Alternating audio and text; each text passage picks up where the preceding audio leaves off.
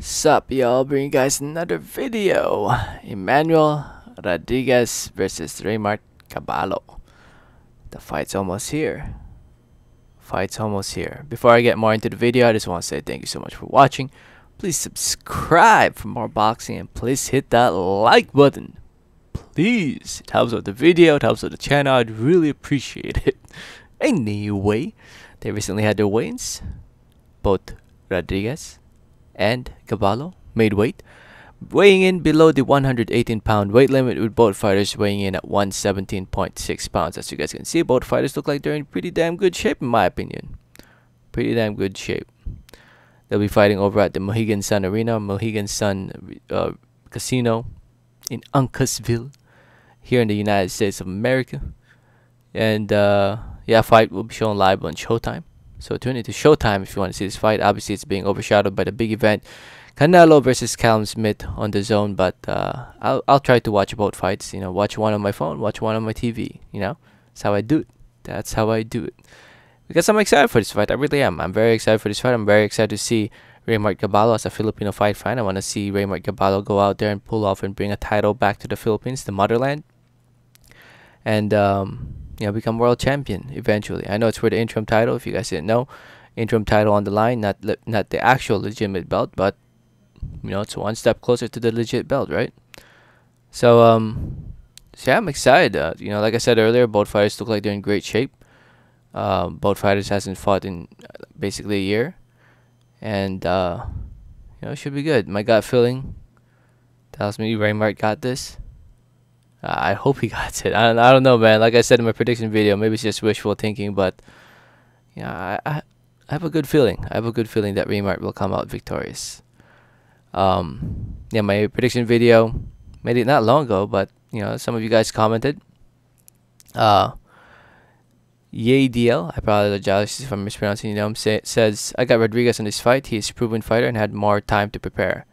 Yeah, that's true. But I, I feel like I feel like you know, Gaballo has been on standby just in case. I feel like so. I think Gaballo has been training at least in camp, just uh, staying in shape, just in case. So, um, well, actually, Rodriguez is also a replacement. If you guys didn't know, he he replaced Nordine Oubaali, so he too was on standby. So maybe I guess those were the two standby fighters, Gaballo and Rodriguez. They were the both standby fighters just in case Donaire or Nordine Oubaali uh, are not available. So here they are fighting each other instead for the interim title.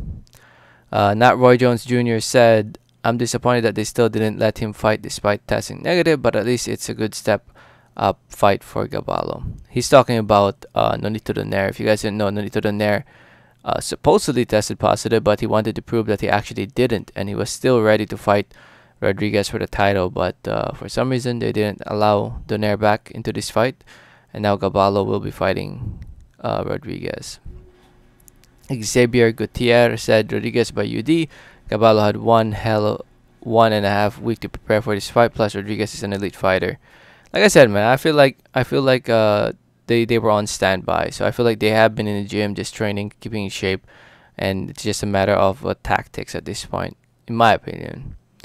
Uh, Papi Chino said Gaballo is a highly touted prospect from the Philippines. We never had a prospect like that. He was literally bred to box from a young age, Rodriguez might be on a shock. I don't know. I, it, it will be interesting. I, I hope so. I hope so. I really want Gaballo to win. I think Gaballo could be the next big one from the Philippines. I mean, he has what it takes, man. He has what it takes. 24 years old, still very young. You know, hopefully he's not one of uh, what are, what is the name of those brothers in, from the Philippines that got knocked out? Boxer. Shit, forgot his name. You know what I'm talking about, right? The Pagara brothers. You know, Albert Pagara. I hope he's not. You know, he's definitely not Albert Pagara. That's for sure. Definitely not. But Gaballo is a much, much more, in my opinion, a much better fighter, boxer than the Pagara brothers.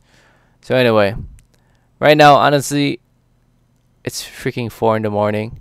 I I'm just I just want to see this fight. I want to go to bed, wake up the afternoon, and watch this events because there's a lot of fights going on today. Today, the 19th, because it's 4 a.m. in the on, on 19th Saturday. I'm sleepy, man. I, I don't know what the hell I'm talking about anymore. I want to go to bed. So enjoy your day. Please again, don't forget to hit that like button if you haven't yet. Please don't forget to subscribe if you haven't yet. Please. Like always, have a great day. Alright, thanks.